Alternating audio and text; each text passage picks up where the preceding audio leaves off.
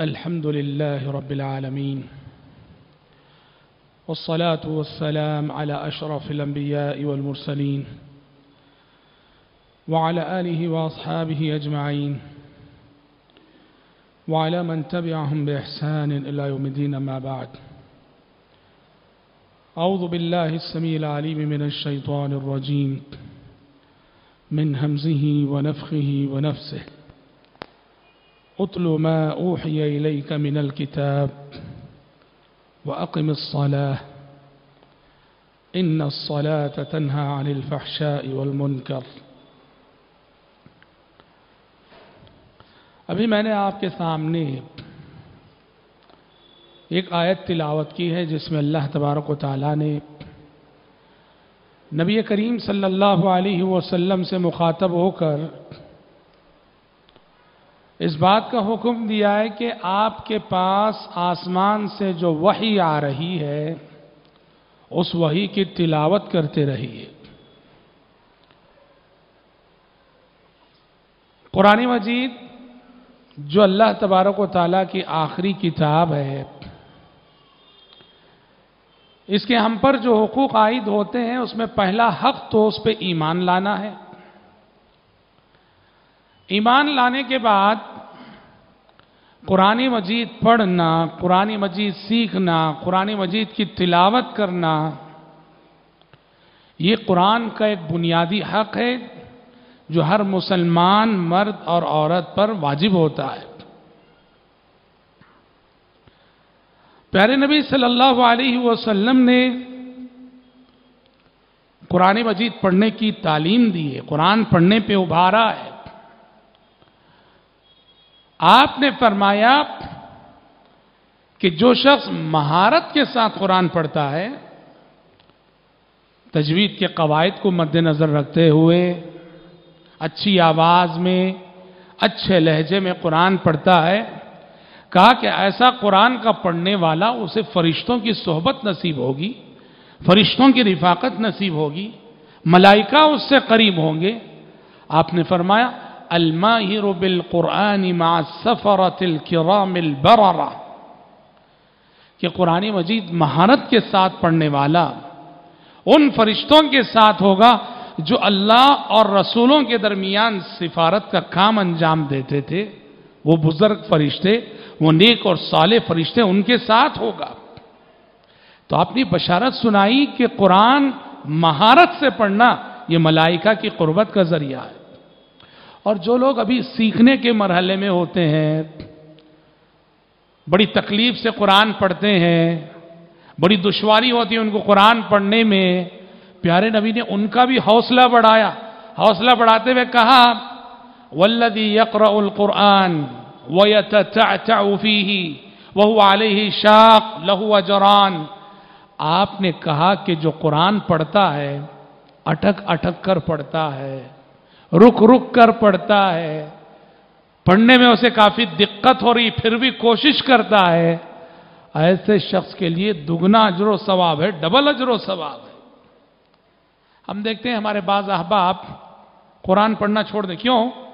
کہا کہ صحیح طریقے سے پڑھنا نہیں آتا۔ آپ پڑھیں گے تو کہیں غلطی ہو جائے گی۔ قرآن ہی چھوڑ دیتے ہیں، پڑھنا ہی چھوڑ دیتے ہیں۔ غلط ہے یہ۔ آپ کے بس میں جتنی استطاعت ہے، کوشش ہے، اپنی استطاعت کے مطابق صحیح پڑھنے کی کوشش کیجیے۔ اس کے باوجود اگر کہیں غلطی ہو جاتی ہے، تو رب العالمین معاف کرنے والا ہے۔ پیارے نبی نے اس بات کی تعلیم دی کہ قرآن پڑھو اور اچھی آواز میں پڑھو۔ آپ نے کہا، زین القرآن بیاسواتکم قرآن کو اپنی آواز کے ذریعے سے زینت بخشو۔ مطلب اچھی آواز میں پڑھو، اچھے انداز سے پڑھو، اچھے لہجے میں پڑھو۔ اچھا اچھا لہجہ کسے کہتے ہیں؟ ایک ہوتا ہے نوز باللہ، جیسے نظمیں پڑھی جاتی ہیں، گانے گائے جاتے ہیں۔ قرآن مجید کو اس لہن میں پڑھنا ناجائز ہے۔ پیارے نبی نے خود حدیث میں بتایا ہے سب سے اچھی تلاوت کس کی ہے؟ سب سے اچھا قرآن کا پڑھنا کسے، کون سا قرآن جو کون سی تلاوت ہے جسے سب سے اچھی تلاوت کہا جا سکے؟ آپ نے فرمایا، جس کی تلاوت کو سنو تو تمہیں یوں لگے کہ یہ پڑھنے والا اللہ سے ڈر رہا ہے۔ تلاوت کو سننے سے ہمارے دل پہ یہ اثر ہو، دل سے نکل رہی ہے آواز۔ پڑھنے والا قرآن کے معنی، مفاہیم، مضامین کو سمجھ کے پڑھ رہا ہے، اس کا اثر اپنے دل پہ لے رہا ہے اور پیچھے مقتدیوں کو، سامعین کو محسوس کروا رہا ہے۔ آپ نے کہا کہ جس کی تلاوت کو سنو تو تمہیں یوں لگے کہ یہ واقعی اللہ سے ڈر رہا ہے، یہ سب سے اچھی تلاوت ہے۔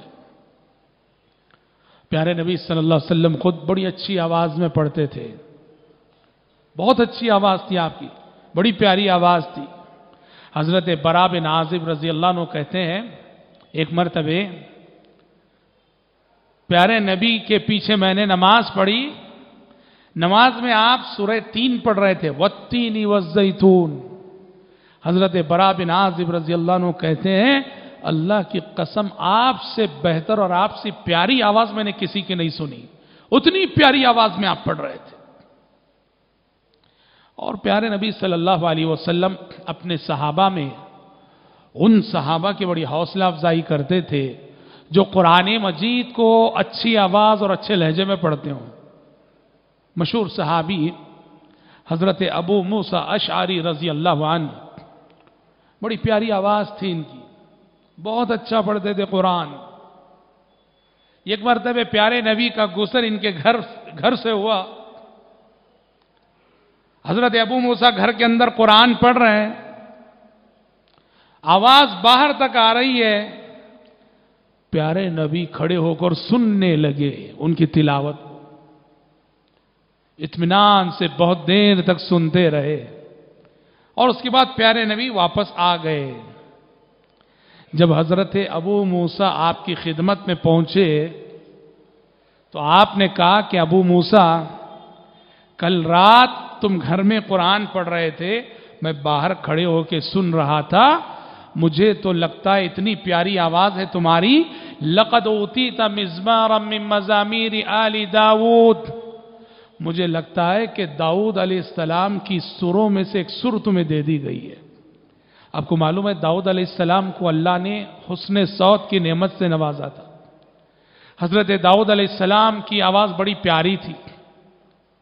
زبور جو ان کو دی گئی، آسمانی کتاب تھی، زبور پڑھتے تھے۔ داؤد علیہ السلام ان کی تلاوت سے قرآن کہتا ہے، پرندے بھی متاثر ہوتے تھے، پہاڑ بھی متاثر ہوتے تھے۔ بڑی پیاری آواز تھی۔ تو آپ صلی اللہ علیہ وسلم نے حضرت ابو موسا اشاری کی آواز کو حضرت داؤد علیہ السلام کی آواز سے تجبی دیتے ہوئے کہا کہ مجھے تو لگتا ہے تمہیں داؤد علیہ السلام کی سروں میں سے ایک سر دے دی گئی ہے۔ پیارے نبی کی یہ تعریف سن کر ان کو اتنی خوشی ہوئی۔ حضرت ابو موسا نے کہا، اللہ کے نبی، اگر مجھے معلوم ہوتا نا کہ آپ سن رہے تھے، اور اچھی آواز میں پڑھتا میں۔ مجھے نہیں معلوم تھا کہ آپ سن رہے۔ معلوم ہوتا تو اور اچھی آواز میں پڑھتا، تاکہ زیادہ سے زیادہ وہ پیارے نبی کی دعائیں لے سکے۔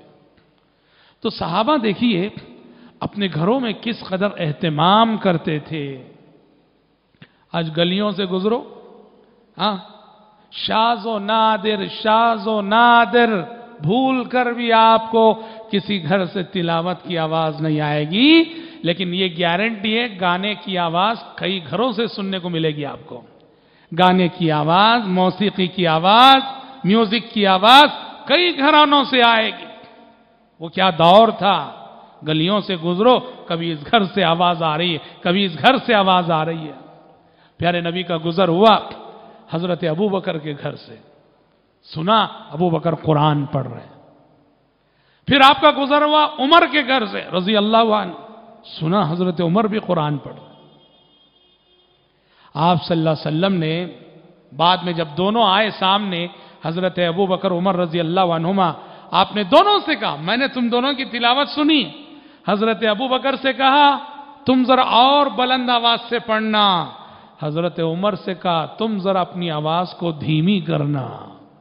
حضرت عمر بہت جلالی شخصیت تھی اور آواز بھی ویسی ہی تھی۔ آپ نے کہا، ذرا تم اپنی آواز دھیمی کر لو عمر۔ اور ابو بکر سے کہا، اپنی آواز تم بڑھا لینا۔ تو حضرت قرآن مجید کی تلاوت یہ روح کی غذا ہے۔ یہ روح کی غذا ہے۔ اور دنیا کے ساتھ ساتھ قرآن مجید، ہماری اخروی کامیابی اور اخروی سعادت مندی کا بہت بڑا ضامین ہے۔ آپ نے فرمایا، اقرأ القرآن فَإِنَّهُ يَأْتِي يَوْمَ الْقِيَامَةِ شَفِيعًا لِأَصْحَابِهِ۔ آپ نے فرمایا کہ قرآن پڑھو قرآن پڑھو۔ اس لیے کہ قرآن کل قیامت کے روز اپنے پڑھنے والوں کے حق میں سفارشی بن کر آئے۔ اللہ کا کلام سفارش کرے۔ حدیث آتی ہے، کل حشر کے میدان میں روزہ آئے گا اور قرآن آئے گا۔ روزہ کہے گا، ربی منعتہ الطعام بالنہار۔ روزہ کہے گا پروردگارہ اس بندے کو میں نے دن میں کھانے سے روک رکھا تھا۔ روزہ رکھ کر یہ نہیں کھاتا تھا، لہذا پروردگارہ اس کو جہنم میں مت ڈال۔ اور قرآن آئے گا، قرآن کہے گا ربی منعتہ النوم باللیل۔ پروردگارہ، اس بندے کو میں نے رات میں سونے سے روکے رکھا۔ کتنی راتیں ہیں، جاگ جاگ کر مجھے پڑھا کرتا تھا۔ اے اللہ، آج اسے جہنم میں مت ڈال۔ اب بتاؤ، قرآن سفارش کرے، اللہ کا کلام سفارش کرے۔ اس کی سفارش قبول ہو کر رہے گی۔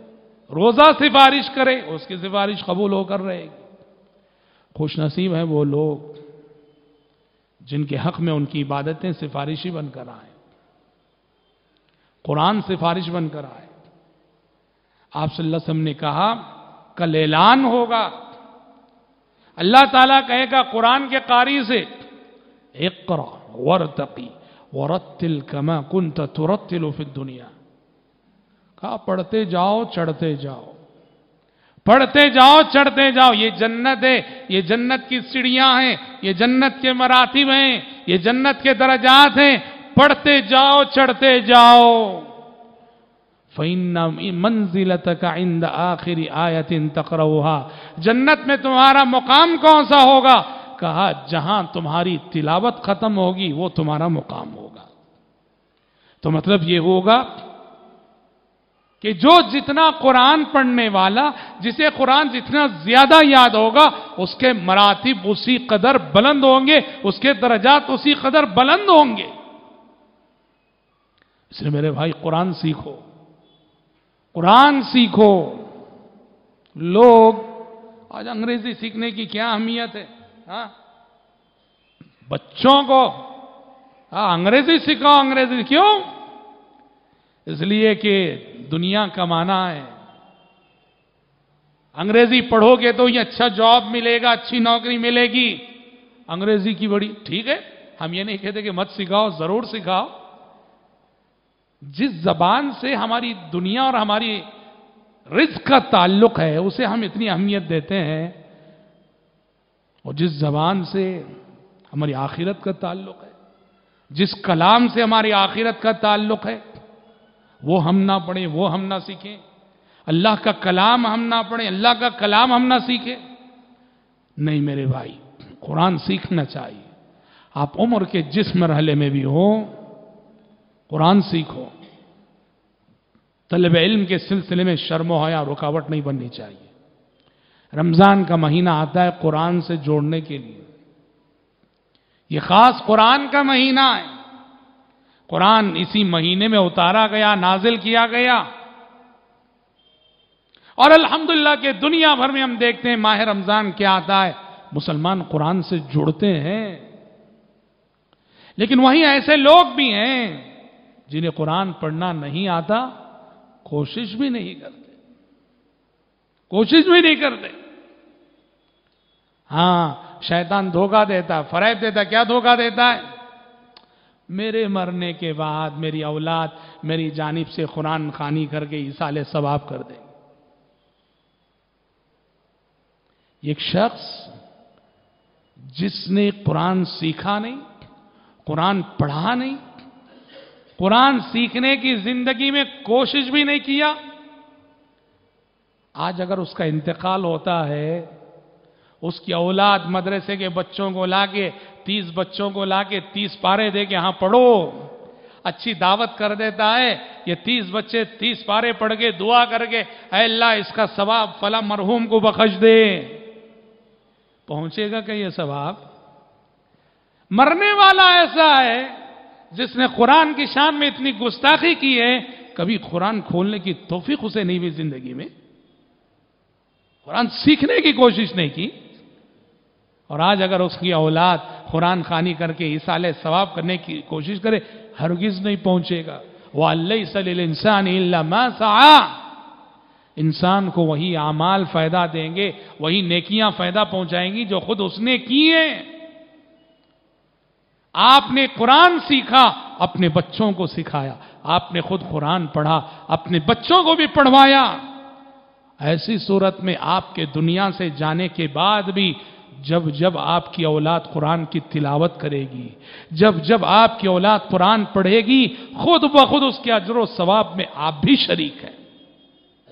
کیونکہ اولاد اگر آج قرآن پڑھ رہی ہے، اس لیے کہ آپ نے ماں باپ اور سرپرست ہونے کی حیثیت سے انہیں پڑھنا سکھایا، قرآن کی جانب توجہ دلائی، تمہاری تعلیم کا نتیجہ ہے۔